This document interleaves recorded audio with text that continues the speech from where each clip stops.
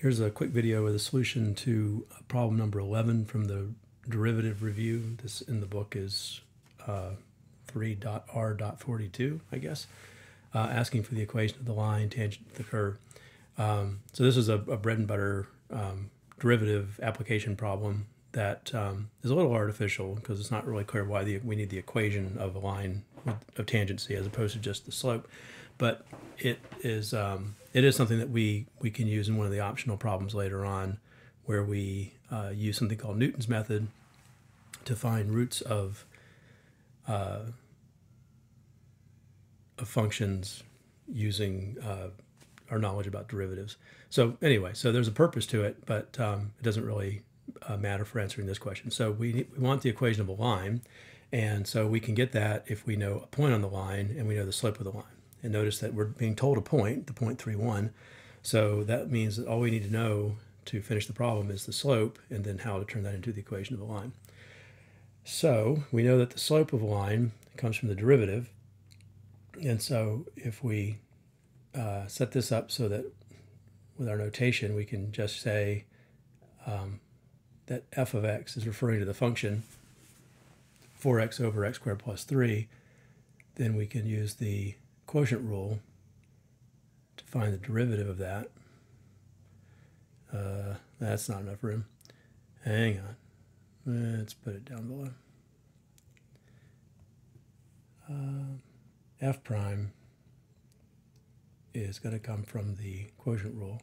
The quotient rule says that it's the denominator times the derivative of the numerator minus the numerator times the derivative of the denominator. And as always, you'll notice that I don't actually do it. I just write down what my rule says to do, and then I'll do it on my next line.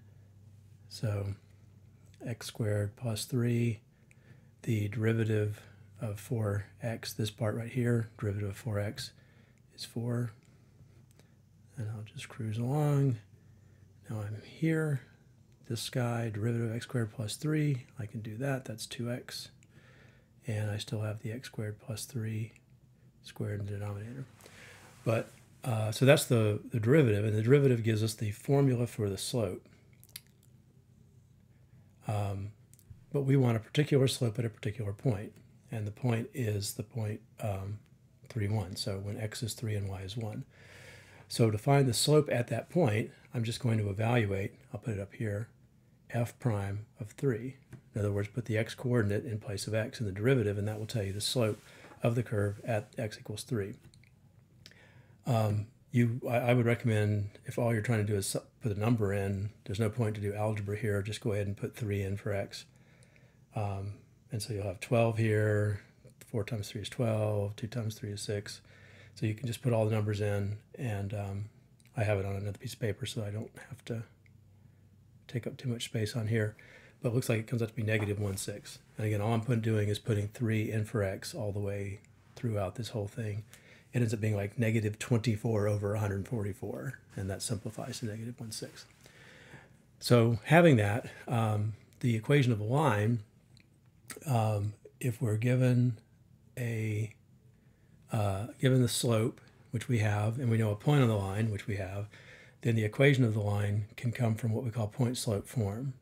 Point slope form will look like this, y minus the given, oh good lord,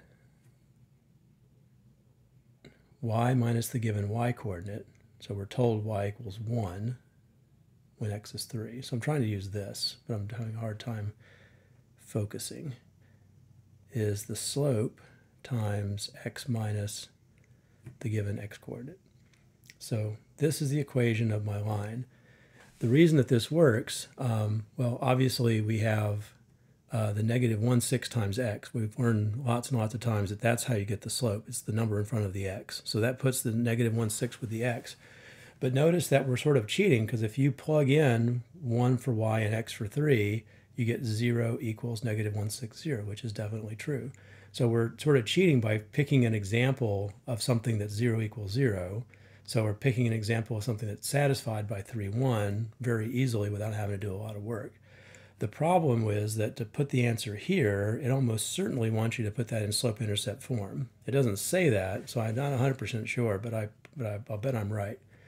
So to put it in slope-intercept form, that means I need to simplify my answer, which means to multiply this through and then to add 1 to both sides.